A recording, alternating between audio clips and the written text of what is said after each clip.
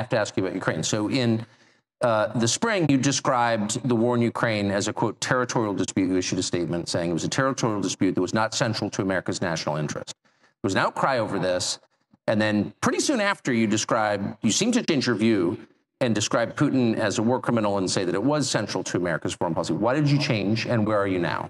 So the last part I did not say. Um, uh, I served in Iraq during the Iraq campaign in Fallujah. I was attached to U.S. Navy SEAL Team One, and remember, it started on what WMD. Then we had Al Qaeda in Iraq. Then it was create a democracy. Then it was that. And so the lesson that I learned from there is if you're going to commit to do military, whether it's aid or whether it's troops, uh, you need to have a concrete idea of what you're trying to achieve.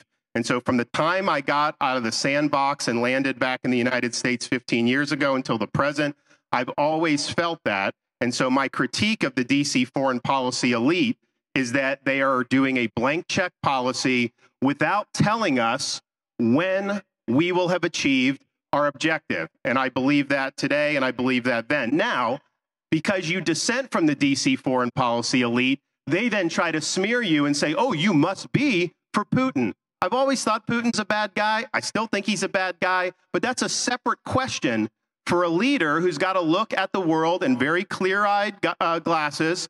You know that it's not all peaches and cream out there, and you have to make a judgment about what's in America's national interest. And so that's the position that I believe. And I also believe that I wish the DC elites cared as much about our border as they do about the Ukraine Russia border.